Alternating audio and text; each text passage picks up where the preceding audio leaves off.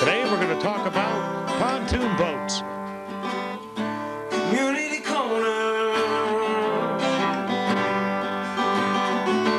Featuring And welcome Big to another edition of Community Corner with Big Jim.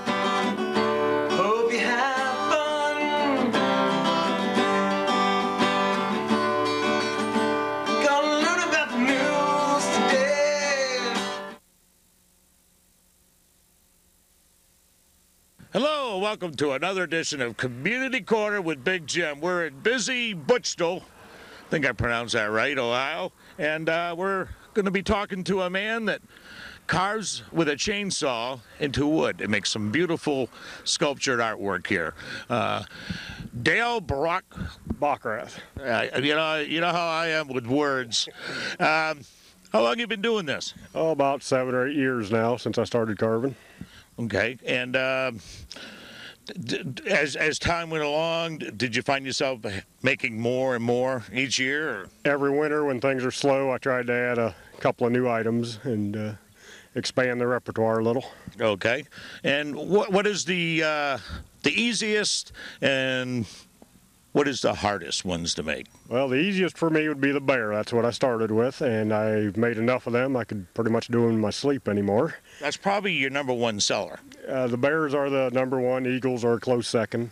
Okay, and um, the hardest? Anything new I'm working on right now? I'm working on uh, horses, and they're coming along, but Do you have any samples around right now that you've been working on, or do you destroy them immediately so people can't see it? no, they've been selling as fast as I make them, but they're still not up to my standards. But But they but they're taking them. oh yes, oh, yes. That's fantastic. Well, that just shows you, you know, that um, just because you don't think it's right your best, they're, they're very pleased with that. So, all right. And uh, what are we going to do today? I know you're going to uh, give us a, a, a quick lesson on how to do this. Do not try this at home, folks. No, Correct? we are trained professionals. That's right. That's right. Do not try this at home. Believe me, I'm not even going to try it. I'm standing away from this man. Uh, what are we? What are you going to make today for us? Well, uh, we're going to do a perched eagle similar to the one you have behind you there. It'll be a little bit smaller version of that. Take about a half an hour, and uh, you'll see start to finish. Okay, the uh, the, the perched eagles. Now there's there's kind of two. Uh, are we talking about the smaller one over there? Yes. Okay, that that's beautiful. I mean, um, I'm not going to ask you uh, how long it takes because that's a trade secret I hear be, amongst you guys. well, the small one we'll do this morning will be about a half an hour. About a half an hour. So um, I, I think it'll be interesting to watch him do this. Um, this is this is something that you really have to have good nerves of steel, I would think. Um, definitely not when you're upset at somebody or in one of those bad hair days. You, you don't want to do that. Um, this is beautiful weather today. Um, well, when, when it's days like this, do you get into the groove and cop out like 10 of them or something? If I can keep myself from going fishing, sure. A fisherman, I hear. yes. Do you do fish? yeah, actually, I have one in the shed waiting to be picked up. Uh, if we, if you like, before you leave, you can get a picture of that. But uh, everything, otherwise, everything I have right now is sitting here. Okay. Uh, I, I noticed there's mushrooms. How, how much of a seller are those? At this time of year, I sell quite a few of the mushrooms. They're just a small, quick item I do out of scrap wood for about just a few dollars, and this mushroom hunting season, so Um, I've noticed the dolphin too um, that, that you've done, uh, really big. Now, that was smooth. Did you sand that down or something? yeah, the dolphins look much better sanded, so I do sand those. Uh, otherwise, everything I do is 100% chainsaw. There are no hand tools involved. Okay. Wh- where do you get your, your wood from? I do an occasional tree removal job or trim, and I used to work in the woods. I have friends that still do. I usually don't have a hard time getting wood. Oh, that's that's great. Um, so you're getting the wood for free?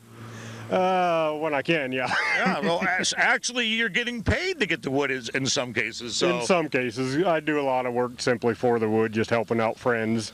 I don't do it as a business. Right. Well, you know, this is this is perfect for this area because there's not much around here, uh, and to pass your time away and make a living at this, uh, my hats off to you. And uh, it's a really uh, good business to get into if, if this is what you want to do. I mean, it's somewhat profitable for you, I take it. Well, it's a sideline. Um, I make most of my income doing shows over the road. Most people, obviously, if you have a family, you're not going to be able to do that. But uh, selling here while I'm at home, it adds, it all helps. Right now,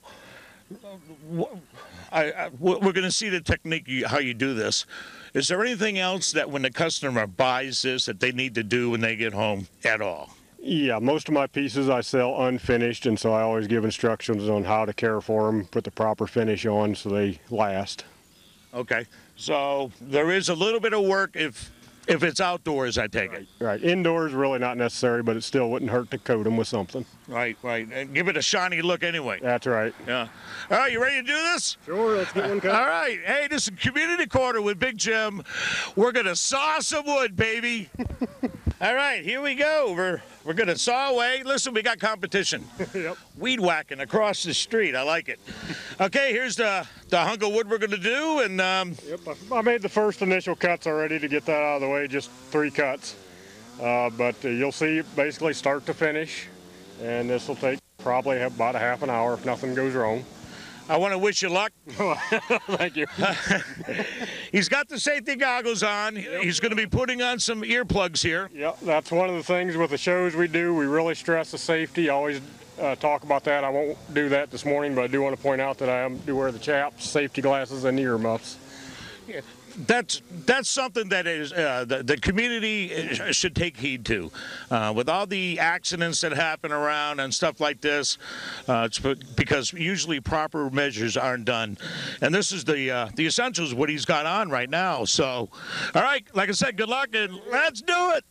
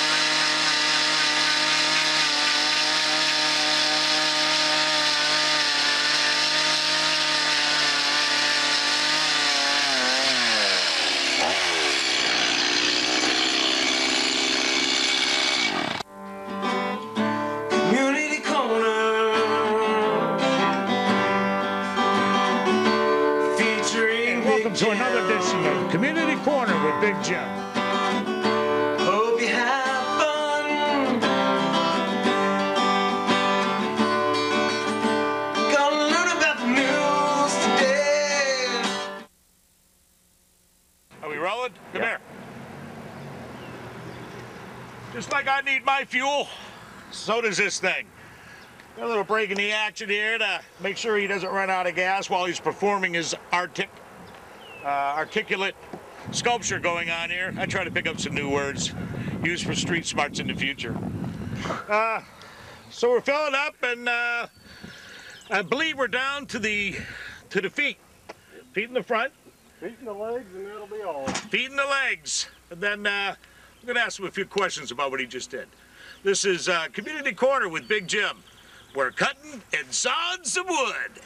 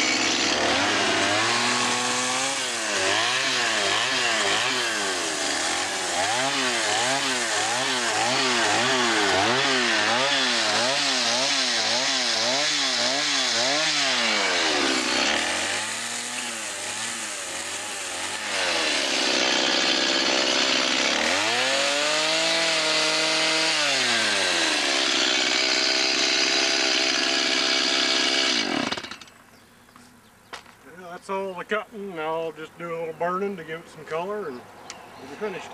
All right, we uh, we're done with the cutting stage, or the the saw stage. I'm the one that says cut around here. Um, man, this is a this is a definitely work of art. So now you burn it. Yep. What, what are you using for a torch or Just a propane torch. propane torch? Um, we're almost done. Just about. So it'll take a few more minutes. All right, uh, he's going to get the torch going here. We're going to finish this job up. And uh, we're sawing some wood here in Butchville, Ohio. And uh, I get to say the word cut.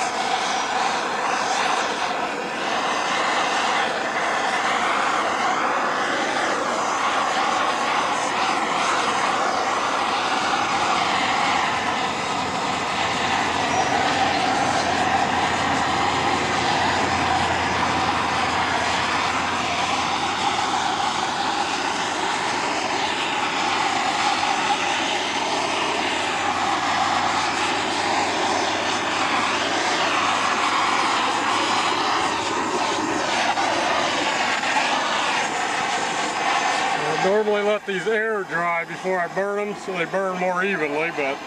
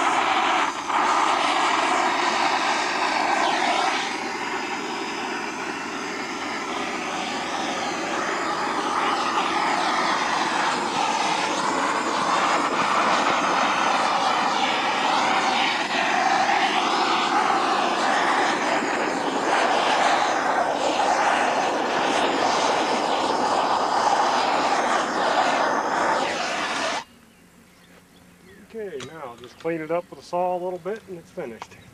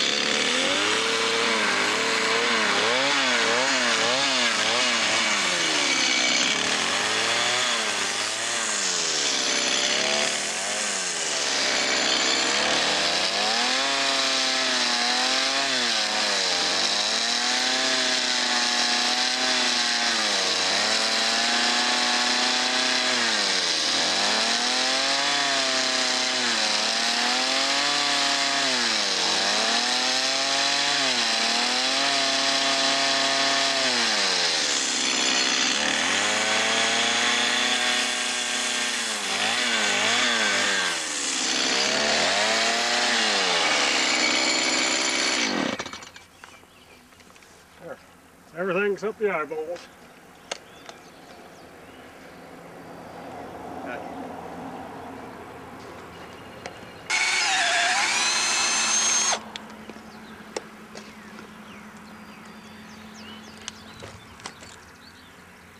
You gotta have eyeballs because eagles have great eyesight. This is the finishing touch right here. yep.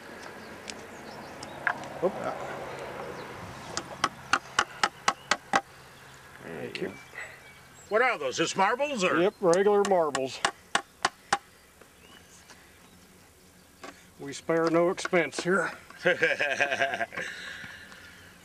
All right.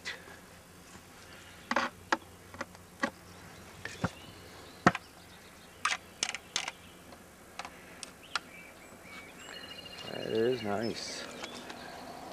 That's the quick version of an eagle. Still going. Yeah. And uh, I just want to show real quick the cameraman for Community Corner with Big Jim today. So uh, is little Jim here, and uh, Jim, I'm, I'm, I'm hoping you got what I saw, and uh, I thank you much for coming out today and helping us out with this. So uh, I'm going to say cut one more time. We're going to go up on the trailer and uh, say thanks to this young man for being on Community Corner with Big Jim, and uh, we'll end the show right there, right? Cut, says. All right, you know, that was just uh, magic in motion over there watching you. Um, I, I was really amazed at how the design started coming in with the feathers, and uh, just it, it was it was cool. It was cool to watch, um, and, and I'm taking you enjoy doing it probably as much as I watched. Well, I hope so. Yeah. All right, uh, we have a fish here. Yeah, this is the one item I didn't have on the trailer earlier. Uh, I do a wide variety of items. Right now, I just have the bears and eagles out. That's what I have left after this past weekend.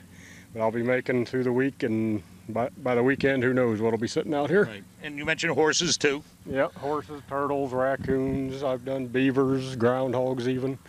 Uh, personal request, I take it. yeah. Uh, What about a deer head? I haven't got done any deer heads because I haven't come up with a design that I'm confident wouldn't break.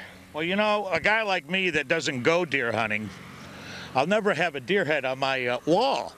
So that would be the alternative to say, hey, there's my buck. You know what I mean? That's an idea. Maybe something, Oh, it's in the back of my head if I can ever come up with a design that I like. yeah, I Just haven't come up with it yet. yeah. The uh, the PETA people will love you for that, you know. So uh, you, you go around the shows. Uh, what- what- Eastern half of the country we cover. Everything from the Dakotas down to Texas and to the East Coast.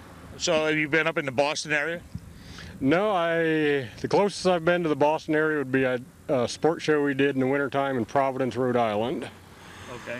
But I've been to the New York City area once. That was enough for me. And Was that a while ago? yeah, that's been a few years. Were you right downtown?